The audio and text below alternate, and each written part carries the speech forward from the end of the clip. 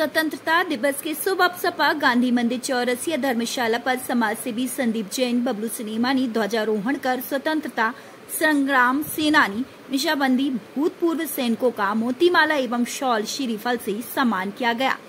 आपको बता दें कि पिछले दस वर्षों से समाज सेवी संदीप जैन, बबलू सिनेमा के द्वारा भूतपूर्व सैनिक निशाबंदियों, स्वतंत्रता संग्राम सेनानियों का सम्मान करते आ रहे हैं। इस अवसर पर सभी पार्षद गण संजय चौरसिया भारतेंद्रु मोन्टू राजपूत, उमेश बालिया दामोदर लोधी, नाइम खान, काशीराम पटेल, नारायण बाल्मीकि, दिलीप कोस्टी सुनील रिछारिया, राकेश मिश्रा, राजेंद्र मिश्रा, सुरेंद्र श्रीवास्तव,